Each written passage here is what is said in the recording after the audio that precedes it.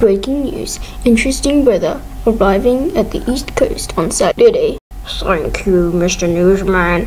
As we can see here, it's quite thundery here in I forgot the name, but whatever. Um, let's hear from this guy right here. What do you think of this situation? Oh, I think it's kind of bad. Uh, I don't really care to be honest. Now let's get to the news about politics. Wait, we just got reports about a tsunami hitting the east coast. Justin, we have a tsunami! Well, um.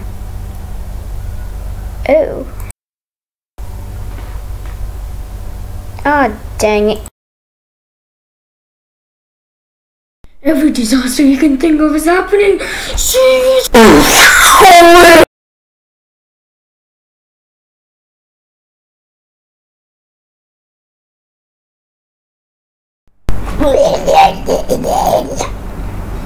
It wasn't that bad.